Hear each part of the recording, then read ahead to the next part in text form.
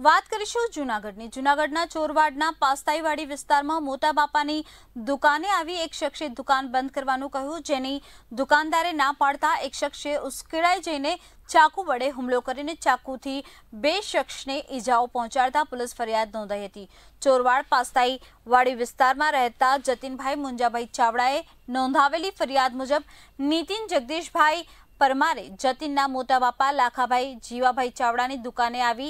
જેમ ફાવે એમ ગાળો ભાંડી દુકાન બંધ કરવાનું કહ્યું હતું, જેથી જતીને ગાળો બોલવાની ના પાડતા નીતિન ઉશ્કેરાઈ ગયો હતો અને પોતાના હાથમાં રહેલ ચાકુ વડે જતીનને તથા શાહેદ વિજયભાઈ રાણાભાઈ ચાવડાને ઇજાઓ કરી હતી. તેમજ ધીકાપાટુનો માર મારી જાહેરમાં ગાળો ભાંડે જ્ઞાતિ પ્રત્યે અપમાનિત કરી જાનથી મારી નાખવાની ધમકી પણ આપી હતી આ બનાવમાં ચોરવાડ પોલીસે ફરિયાદ નોંધીને આગળની તપાસ હાથ ધરી છે